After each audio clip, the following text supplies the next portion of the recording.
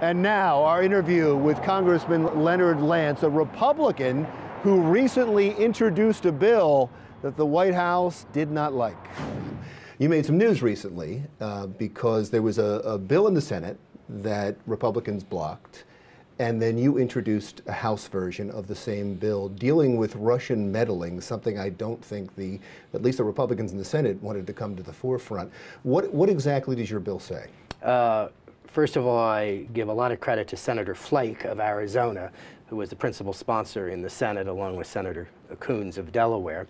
And I have introduced identical uh, matter. It's a resolution in the House of Representatives. And what it says is that we honor the work of our intelligence agencies and that we back our intelligence agencies up, number one. Number two, we should examine what happened in Helsinki. Number three, uh, the Russian sanctions should uh, be in place fully.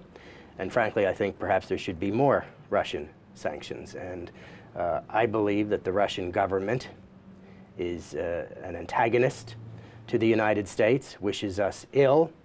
That has traditionally been an enemy of the United States. That doesn't mean we cannot uh, try to reach out to the Russian government. But I'm deeply concerned about this, and uh, certainly the Russians did meddle in the 2016 election and have the potential of meddling in the election process this year. Your president doesn't agree with much of that, and some in your own party don't agree with much of that. What was your intention in going up against them and introducing this bill? Were you making a statement? Absolutely, I was making a statement. It, it, it's a resolution. However, we have put in place sanctions against Russia, and we want those sanctions to be enforced fully. I, I want to move on to one other thing that, that is going to be, that is big to people in New Jersey, and that is the tax cut bill that you voted against. And uh, uh, one of the things that, are, that make New Jersey residents so upset, especially property owners, is the fact that the SALT deduction went away. The Republicans seem to be uh, engaging in a redo. They're calling it Tax Cut 2.0, where they're amending what they considered some of the problems in the first tax cut bill. But SALT isn't in there. Should it be? Uh, absolutely. And uh, the original proposal by Republicans was to eliminate SALT completely, the ability to deduct state and local taxes. Uh, it was uh, increased to $10,000. Now, that's not good enough for me. I did not vote for the bill, and I will continue to work on uh, that issue. But certainly I favor full deductibility of state and local taxes because that has been in our tax code historically since the advent of the modern tax code in, in uh, 1913. And I am of the belief that this should be fully deductible given the fact that New Jersey is a sending state, not a receiving state. We send a lot more funds to Washington than we receive back. And I believe there should be full deductibility of state and local So if there's taxes. not full deductibility, will you vote against it? I'm likely to vote against it. I want to see what the final product is, and I'm certainly working on, on this issue, but I favor full deductibility. So, it, so making, making the uh, individual tax cut permanent isn't good enough for you? That is correct.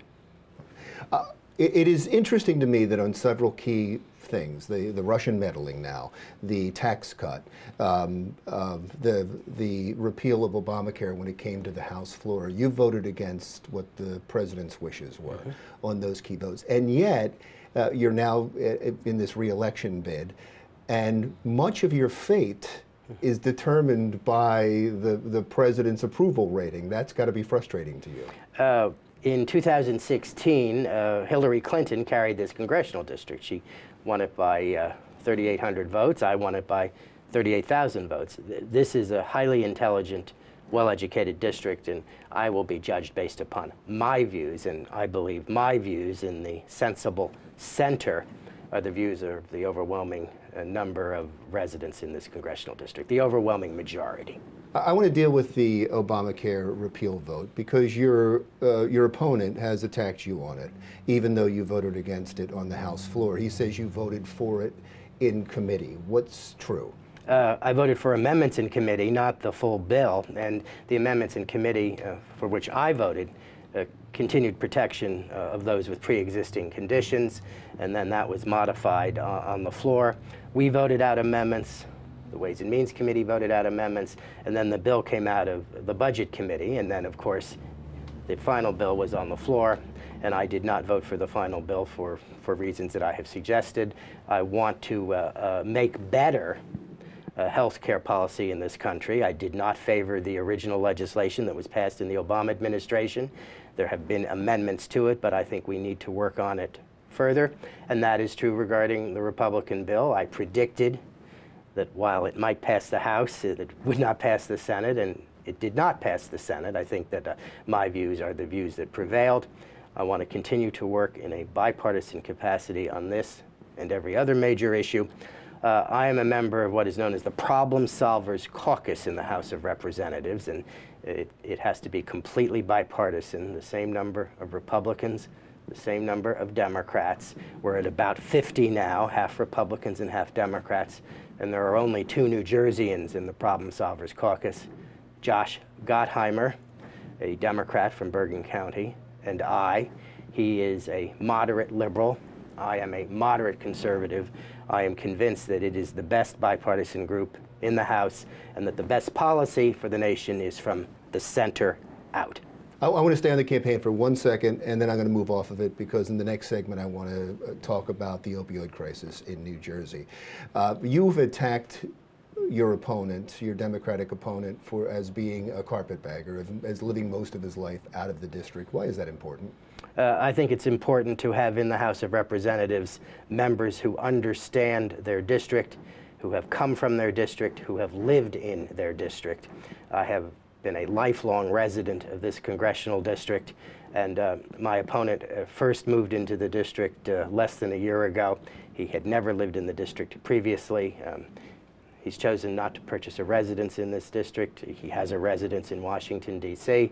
I think it's important to, to live in the district, to know the district, and I assure all of my constituents that I have spent my entire life here and uh, believe that that is the purpose of the House of Representatives historically, to have those who are from their districts go to the nation's capital to represent the views of constituents from the district. He did grow up in New Jersey. He went to grade school and went to high school. That's not good enough? Uh, not in this district. He grew up in Princeton, and if he had wanted to run for Congress from Princeton, so be it.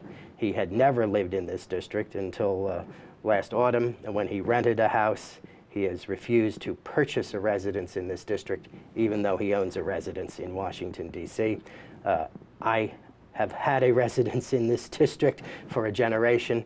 Uh, my wife and I pay property taxes in this district. I think it's important to have someone serving in Congress who understands the district and who represents the views of the constituents of the district he or she serves. As promised, last campaign question, I do want to move on to the opioid crisis, and we'll continue that conversation with Congressman Leonard Lance when Jersey Matters continues.